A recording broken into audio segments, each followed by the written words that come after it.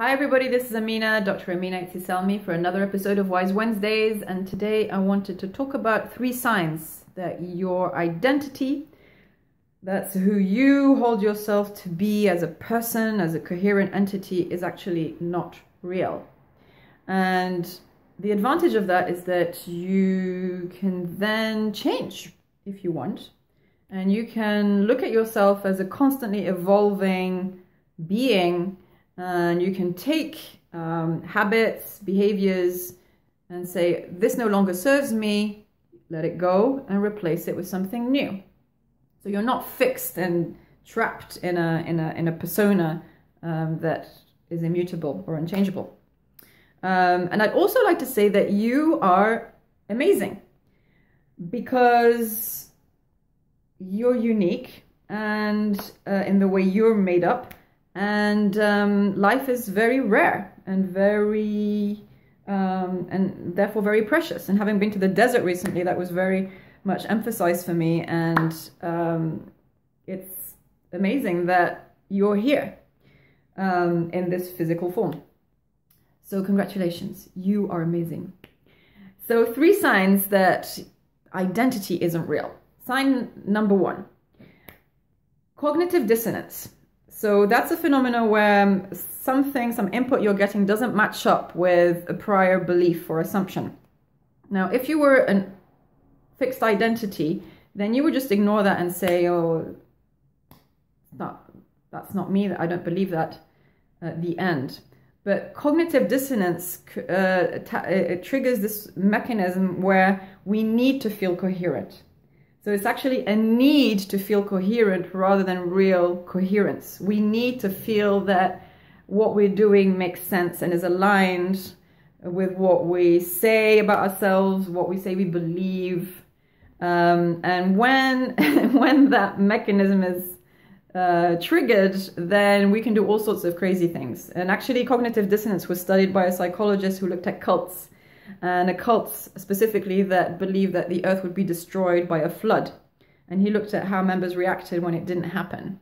So uh, the less extreme members thought, okay, well, that's it was a mistake, it was silly. And they didn't want attached to their identity as a cult member. It was like, fine, that's not true, let's move on to something else.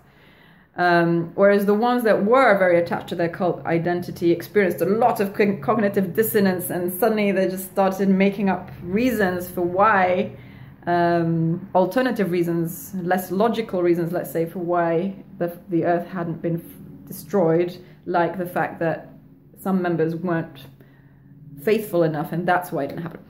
Anyway, so the point is with cognitive dissonance that shows there's a mechanism inside that wants us to be coherent but actually it's we're not coherent. We're a, a, a clusters of beliefs, assumptions um, that lead to habits over time, and um, they can be in conflict and and they can change. Um, so that's number one, cognitive dissonance. Second sign that your identity is not fixed and not real is similar. It's dilem dilemmas. So uh, dilemmas, should I do this, should I do that? If you had a, a single identity, you would just probably pick the one that matches most closely to your identity. But that's not what happens. Again, uh, there are one, the, the, different options clash somehow at the level of assumptions and beliefs. Um, so it's not that a part of you thinks this and a part of you thinks that.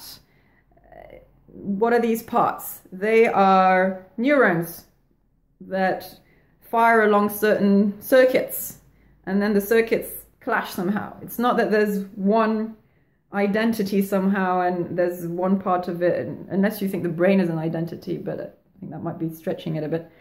Um, so the dile yeah, experiencing dilemmas is uh, suggests that yeah, there isn't one identity, and then otherwise the choice would be easy. Um, you can play with that. You know, these are just ideas that I'm putting out there. And so third sign that identity isn't real is dreams. In that when you, you dream, you're asleep. So a lot of your uh, processes are shut down. Your cognitive processes are shut down, uh, certainly the conscious ones. but something's left. You, you sometimes have a feeling that you witness something. You're awake in your dream and you're witnessing your dream. So that witnessing part um, that doesn't have traits, it's more of a witness function, an observer function, uh, is probably closer to who you really are, that you're experiencing and you're witnessing. But it doesn't have particular traits or characteristics. It doesn't have an, an identity, it doesn't have a persona. It's a, it's a function, it's an obs- observer. Um, so, yeah. See what you think. Do you think you have a fixed identity? And uh, is it helpful to believe that? I mean, in the end, who knows what the truth is? But um, if you're going to believe a truth, pick one that serves you and that's helpful to you in your evolution and living the life that you want to live. Um, okay, so I hope that's helpful. I uh, feel free to write, comment, and I look forward to seeing you soon. Bye bye.